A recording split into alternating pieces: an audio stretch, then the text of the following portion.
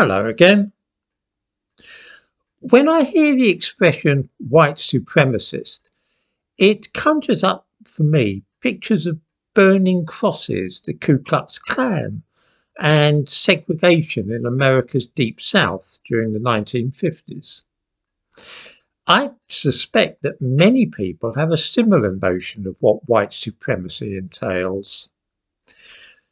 It is true that there was such a culture until 50, 60 years ago, but it has faded and vanished over the decades.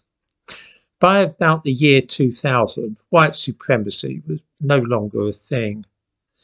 This presented a serious problem to those who wished to make a living out of exploiting friction between different ethnic groups in the United States. If white supremacy culture vanished entirely, such people would be out of a job. Let's face it, if all races and ethnicities were rubbing along well together, as was increasingly the case as the millennium approached, then there would be no need for race relations experts and anti-racism workshops and all the other profitable little enterprises which made this a lucrative cottage industry. It was necessary to redefine white supremacy so that it could be demonstrated that it was not only alive and kicking, but was in fact the dominant culture in both the United States and Britain. Those uh, advocating critical race theory were in the forefront of this struggle to preserve racism, but theirs was not the only game in town. A couple of characters called Kenneth Jones and Tema Okun came up with a curriculum to be used in workshops, universities, companies, schools, and anywhere else where the credulous and willing could be persuaded to part with their money. This was called dismantling racism, and they managed to ensure that white supremacy culture would never come to an end by defining it in the weirdest terms imaginable. I give a link in the description to this video to a typical piece of anti-racism, um, what, what, what shall I say, uh, paperwork, part of you know, the materials used to persuade people that white supremacy is still an active thing. It is a hugely successful and profitable business in America. Dismantling racism has become a, it, it's the go-to resource for an awful lot of organizations. Here are the features which, according to the Dismantling Racism curriculum, distinguish white supremacy culture.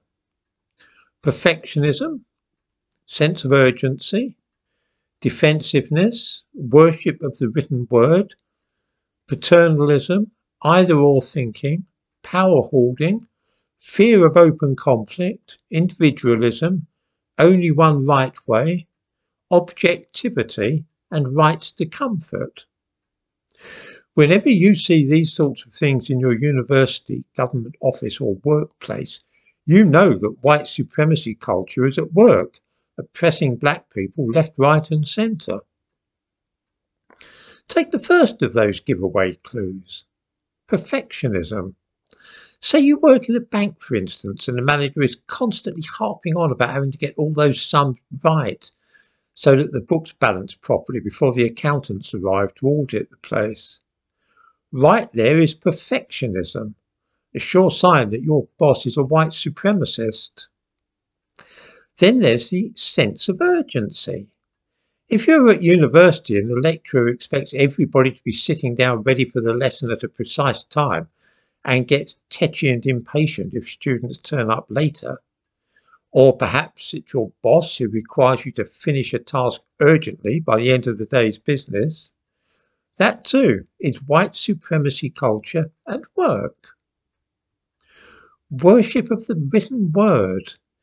Yes, I've known all too many bosses and people working in academia who suffer from this. They insist on having reports in writing. What is more, they want all these documents to be grammatically correct and every single word spelled correctly. Worship of the written word or what? more white supremacy culture. Only one right way means that when a mathematics teacher explains to pupils that in order to carry out calculations, a precise order of operations must be adhered to, that is telling them that there is only one right way. Or when the company you work for wants things done in a certain order, that too is white supremacy culture. Fear of open conflict. Yes, it's true. There is a strong tradition in Britain and America to avoid open conflict and to settle disputes in a more low key fashion. I've always thought it a sensible thing.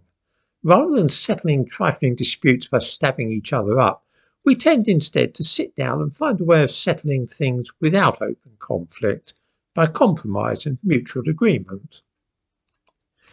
Objective thinking is a bad sign as well. Whenever somebody tells you there's such a thing as objective truth, watch that man. He's probably a white supremacist in disguise. By framing white supremacism in this way, those who make a living out of anti racism may rest assured that they will never be out of a job. There may not be burning crosses and lynchings anymore, but you will surely always be able to find a boss who is a perfectionist or somebody who wants to avoid open conflict. This is a classic example of the Emperor's New Clothes, a racket which is so obviously absurd and yet so craven are we that none of us dare say outright that it is all utterly mad.